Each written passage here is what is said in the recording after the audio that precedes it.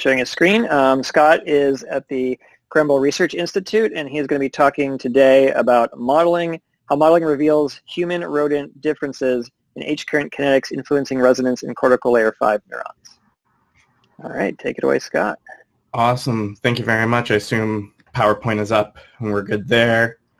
Uh, so yeah, so my title is obviously a little bit of a mouthful. Uh, when I gave this talk uh, previously, I sort of subtitled it, uh, Why Rodents Aren't Humans. And so what we're going to learn a bit today is how these interspecies differences manifest themselves at the cellular level in uh, cortical layer 5 neurons. Uh, so what I'll do first is sort of walk you through uh, the H-channel subthreshold resonance, these, what these terms mean, what their interactions are, and then what the larger scale functional implications of this is. And I'm going to try to situate this all within the current state of the art in terms of human neuron models. And then I'll walk you through the results of this study, which are A, this full spiking, uh, biophysically detailed multi-compartment model of a human L5 cortical pyramidal cell, how in the creation of this model we came up with this new quantification of the H current distinctly in humans, and then finally what the functional implications are in terms of this dynamic of subthreshold resonance.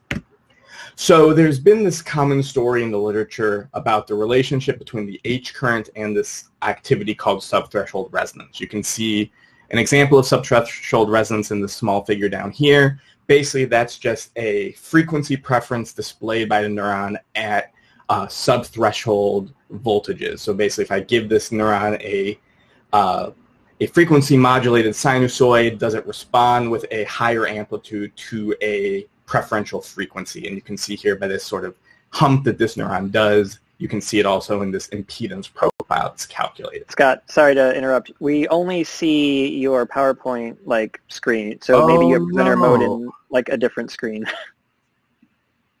that is not. Yeah, we're just looking at the title. well, lovely. okay, how about that? Yep, that looks good. Okay, sorry about that. Let's get rid of that thing. Okay, so as I was saying, um, I'm, I'm sorry about that. So there's this common story in the literature about this relationship between these H channels, these hyperpolarization activated cation channels, and this idea of subthreshold resonance, which I was just talking about. Uh, now you can hopefully see the figure down here. And the idea has been, in order to get this subthreshold resonance, you need enough of these H channels to be expressed. Now, experimentally, recent literature has shown that these H channels tend to be more strongly expressed in humans as opposed to rodents. So the natural follow-up to that logically would be, okay, it would be more likely for us to see this resonant dynamic in human cells as opposed to rodent cells. Uh, some early experimental work in human L3 seemed to confirm this. Uh, and then this obviously, this does have larger scale implications for whole brain rhythms. This is something that in the you know mathematical literature, the more mathematically based neuroscience is still under review, but basically there are there is evidence to show that these subthreshold single neuron behaviors play a role in dictating whole brain rhythms. So this could be one factor at play in why, say, you know, human alpha rhythms and rodent alpha rhythms are different. But there's been a bit of a wrench that was thrown into this story, and that was new evidence from human L5. So human L5 actually shows more of this H current than human L3. But subthreshold resonance was not observed in these neurons. And again, you can see here just an example trace of what a lack of subthreshold resonance shows. Seems like you see the voltage uh, peak early on and then the sort of, you know, attenuation. So this was a very counterintuitive result that goes against this theory that more H channels equals more subthreshold resonance. And we thought that perhaps modeling could help untangle this, this story. Now, this also highlights the need to create distinctly human neuron models. Obviously, most of our very detailed uh, neuron models come from the rodent setting, given the availability of rodent experiments, and rodent tissue. I'm sure many of you are familiar with the Allen Brain Atlas, which has you know hundreds and hundreds of these very biophysically detailed rodent models. When you look at the human literature, things are much, much more limited. Now, one obvious reason for that is the fact that we have much more limited access to human tissue as opposed to rodent tissue. which makes sense because we're obviously limited to the patients coming in for surgery and the capacity to take that tissue and do experiments on, which isn't as widespread. The other thing we notice is that most existing human neuron models make a lot of assumptions based on the rodent literature, and a bunch of necessary assumptions based on the rodent literature. So in particular, if you look at these human neuron models, the models for ion channels that are embedded within them tend to come from the rodent literature. And now if there's a difference between species, between humans and rodents in some dynamic that may be, may be driven by a single ion channel, we need to start getting into the, you know, the cellular level differences and we need to expand our perspective there. So in general, we need to create a new model. So that gives us some challenges. First, is it even possible to build such a model given the experimental limitations? Then can we use such a model to look at cellular level ion channel differences between the human and the rodent setting? And then can we potentially exploit the benefits of the in silico setting to perform some experiments that might not be feasible in vivo or in vitro to help us understand functional implications of these differences. So lo and behold, we were able to create such a model. Otherwise, I probably wouldn't be talking to you about it right now. I'm not going to get into the nitty gritty here because I only have 12 minutes, but two things worth highlighting. First, we were able to get both the morphology and the electrophysiological data from the same human layer 5 cortical neuron. If you attended the Eve Marder's talk yesterday, you probably recognize how why that's so important, given these questions of cell-to-cell variability, wanting to avoid creating Frankenstein models, etc. So the fact that we were able to do that was something that we were very proud of and we think makes this model uh, pretty unique. We also focused on properties that we knew were driven by the H current when we were creating these models. And these are twofold. First, these the voltage response in response to hyperpolarizing current clamp experiments, and also the capacity for post-inhibitory rebound spiking. Both of these are driven primarily by activity of the H current and we're able to very successfully replicate these features in our model. Now, the secret sauce in those nice fits that I just showed you was the fact that we had this eureka moment where we abandoned the rodent H channel models as commonly used and tried to fit the H channel and the H current straight from scratch. And when we did that, it yielded a pretty significant difference between this new human H channel model and the H-channel model from the rodent literature. Uh, the citation is Kole et al. in 2006. You see this much right, more rightward shifted steady state activation curve, and you see these much larger values of tau, the membrane time constant. You can think of larger values of tau as meaning the channel is activating and inactivating more slowly. And what was really nice about this is that we had a separate set of experimental data, voltage clamp data, again from that same primary neuron. And you can see that from these triangles here. We were able to extract corresponding approximations of these kinetics of the H current.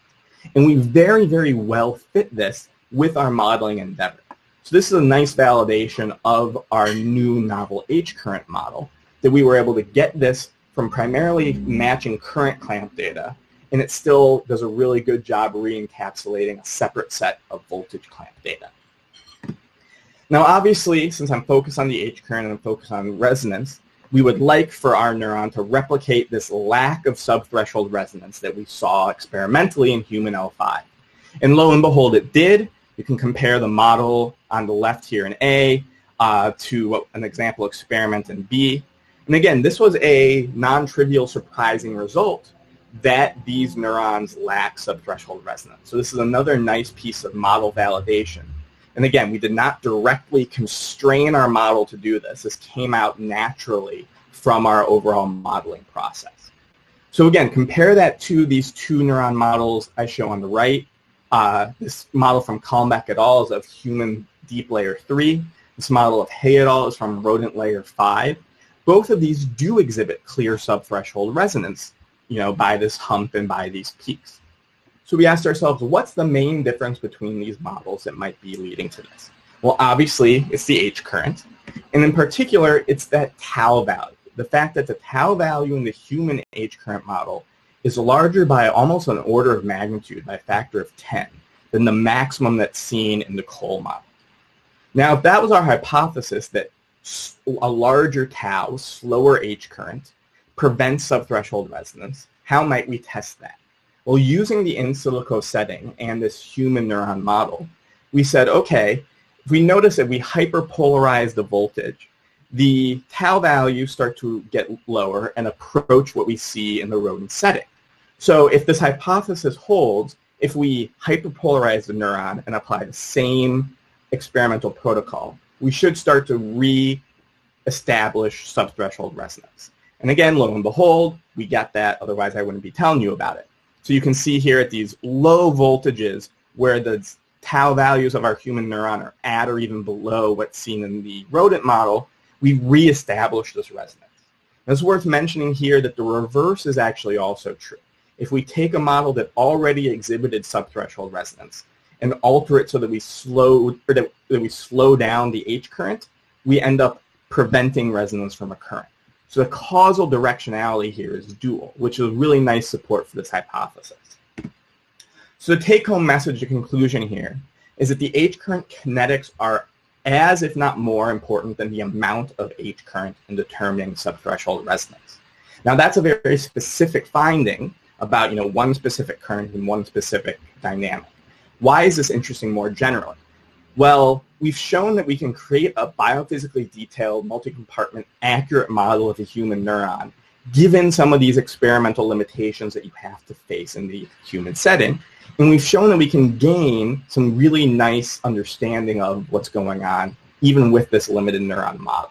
So again, in our modeling process, this allowed us to uncover these changes in the H current, and it allowed us to prevent, propose a hypothesis for the actual mechanism of action underlying these interspecies differences. So we think that this modeling strategy, generally speaking, shows how you can get at the cellular level differences that explain, that potentially show why the human and the rodent brain are different, specifically using uh, modeling. Uh, and with that, I will take your questions uh, really quickly. I have to do some shameless self-promotion. We're having a uh, Canadian Computational Neuroscience Spotlight, which has been uh, very much motivated and inspired by the success of NeuroMatch that's going to be taking place on June 15th and 16th. Uh, if you're interested in some more cool computational neuroscience from uh, up north, we'd love for you for uh, for you to join us. Great. All right. Uh, are there any questions for Scott? This is well, really, really cool work, by the way. It's really fascinating stuff. Thank you. Um, doesn't look like I got anything specific. So um, I'll ask one question at least. So how, and I know this is this is a really open-ended question or hard to answer in a short time frame, but like, what were some of the the key things that you might want to share about how you came about doing the modeling? Like, how did you come up with this this model? Yeah. Like, so, or, yeah, that's a, yeah, that's of course what I had to cut from the talk with it being a 12 minute as opposed to longer. Uh, so, but again, basically the the sort of eureka moment was when we just sort of realized, okay, we have no direct evidence telling us that the human H channel is the same as rodent H channel. So why are we restricting our modeling by doing this? And you know, if I, I could show you almost you know before and after pictures of how inaccurate the model was with this rodent H current. Once we allow, we added those degrees of freedom. Obviously, you know, the fits took a lot longer, et cetera, et cetera. but you know, it yielded something unique, and it actually, I think, it showed something more powerful. And what's really cool is there is some experimental evidence showing that this actually may be uh, replicated in the differential uh, subunits of the H channel that are differentially expressed in rodent and human. So this is something that's sort of talked around a bit in a bunch of papers, uh, but we think that we using modeling, we've been able to sort of highlight something that we've sort of known and been talking around, but haven't quite fully articulated mm-hmm. until now. Cool. Um, we did get one more question, and, and I well, we'll add this one as well. So um, what determines the resonance frequency? Is it the amount, or is it the kinetics of the H channels? Ah, so our hypothesis basically says that it's the kinetics of the H channels. So in all of these in silico manipulations, we're not at, we're not altering the expression or the you know the conductance of the H channel at all. We're basically just shifting where on its uh, you know tau curve it lies. So our under our hypothesis is that it's primarily the kinetics that dictate that. Uh, you could sort of see that by that gradual shifting of the peak frequency uh, in those, you know, DC shift manipulations. So, so that's our hypothesis. And again, this, the, the story is likely much more complicated than that. Subthreshold resonance is a very complicated dynamic. And by no means is it one-to-one something about the H current means something from subthreshold resonance. The passive properties, the morphology of the neuron, all of these things are coming into play as well. And that's part of why it was really important when we created our model that we did so primarily constrained by a by data from a single neuron model, so we didn't have these confounds of experimental variability, et cetera, et cetera.